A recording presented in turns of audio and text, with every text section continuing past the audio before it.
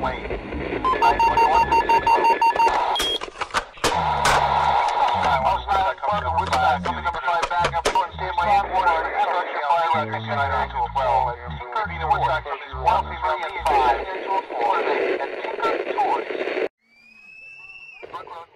इंसान की माशी हालत कमज़ोर पड़ते ही इन पर हालात और माशरे के ऐसे गिद मंडलाने लगते हैं कि जैसे रेगिस्तान में पड़े मुर्दे पर। हर इंसान के माशी हालात कमज़ोर पड़ते ही सबसे पहला असर करीबी रिश्तेदारों पर पड़ता है। रोज बरोज ये कमज़ोर पड़ती माशी हालात के साथ साथ इन करीबी रिश्तों के फासले भी बढ़ते जाते हैं और आखिरकार ये रिश्तेदार जिनको हम करीबी समझते थे, गरीबी की धूल मट्टी में गुमनाम हो जाते हैं। ये रिश्ते जो कभी हाल पूछते नहीं थकते थे। अब इन रिश्तों में कड़वाहट महसूस होती है। ये माशरा जो कभी बुरी से बुरी बात को भी अनसुनी कर देता था, अब हर बात को अनसुनी कर देता है। ये हालात इसको एहसास दिलाती हैं कि अब इनकी किसी बात का किसी पर कोई असर नहीं रहा और बीते समय के साथ साथ इस माशरती कड़वाहट इसके रगों में जहर भर देता है। ये माशरती हालात इस इंसान की इंसानियत को ऐसे नोच लेती हैं जैसे जंगली जानवर अपने शिकार को। इंसानों के नाम का ये माशरा अब अपनी ही जाति के इंसान को इंसानियत पर बोझ समझने लगता है। इस इंसानी माशरे की ये तल्ख रवैये इस इंसान के अंदर सवालों का एक पहाड़ खड़ा कर देती हैं, जिसका सही जवाब बहुत कम लोगों के पास होता है। ज़िंदगी में अक्सर लोग इन सवालों का गलत जवाब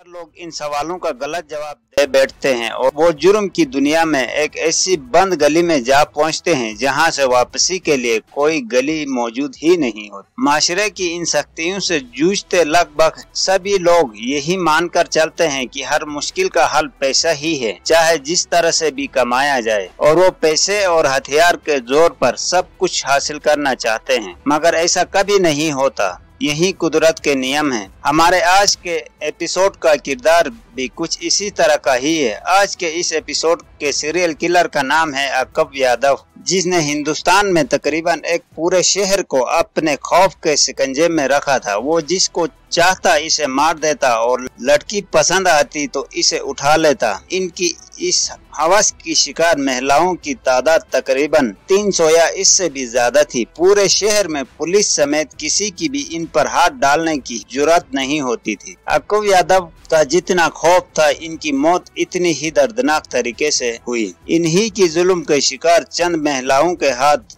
इनकी मौत वाक़ हुई। इनकी मौत का अंदाज़ा इस बात से लगा सकते हैं कि इनका उज्व खास जब वो ज़िंदा थे, उखाड़ कर फेंक दिया गया था। ये सीरियल किलर रेपिस्ट 1972 में पैदा हुए थे। ये 33 साल सीरियल किलर रेपिस्ट हिंदुस्तान के कस्तूरबा नगर में खौफ का दूसरा नाम बन चुका था। कस्तूरबा नगर में हर दूसरे घर में से किसी न किसी खातून के साथ अक्कब यादव ने बलात्कार किया हुआ था। अक्कब यादव हमेशा हिंदू जाति के एक कमज़ोर तरीन तबके को अपना निशाना बनाते थे। इस जाति के अफराद ने पुलिस में कई मरतबा शिकायत की, मगर इनकी जाति की वजह से इन्हें अनसुनी कर दी गई। पुलिस के इस रवैये ने इस सीरियल किलर रेपिस्ट को और बढ़ावा दे दिया, और वो खातन को डाल बनाकर इन्हीं की मर्दों को ब्लैकमेल करने लगा। जो महिलाएँ अकब यादव के खिलाफ पुलिस शिकायत करती, पुलिस इन्हीं महिलाओं पर बदचलन होने का इल्ज़ाम लगा देती। पुलिस का ये रवैया एक ऐसे लावे को तैयार कर रहा था जिसका किसी को ख्याल तक नहीं था।